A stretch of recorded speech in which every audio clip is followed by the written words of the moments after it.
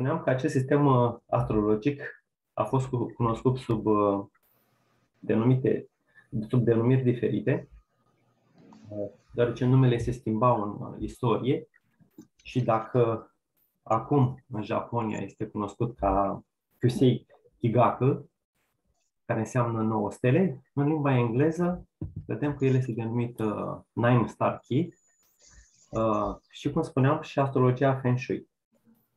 Uh, în lunga sa istorie, toți cei care au studiat și au practicat acest sistem de uh, divinație uh, au trebuit la un moment dat să părăsească China și unii dintre ei au plecat în Japonia și în uh, Taiwan.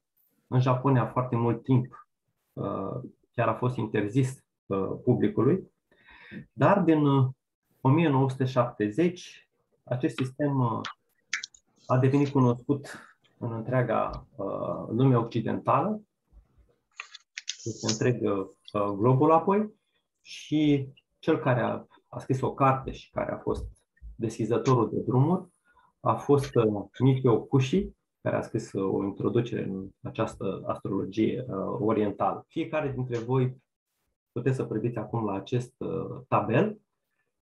Și în funcție de anul nașterii o să vedeți că aveți ca număr de bază, ca număr principal, da?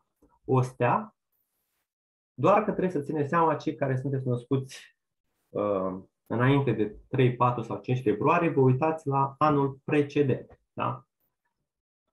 Deci, eu...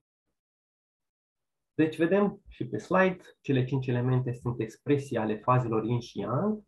Apa înseamnă înghețare, dizolvare sau curgere. Este energia care curge.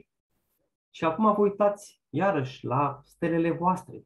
Ai unul acolo în, în hartă. E vorba de anotimpul de iarnă, da?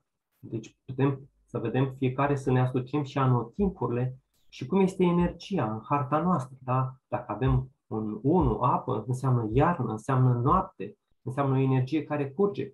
Dacă avem lemn, înseamnă creștere și înflorire. Eu sunt ca o primăvară, da? Dacă am steaua prima stea este 3 sau 4, eu mă regăsesc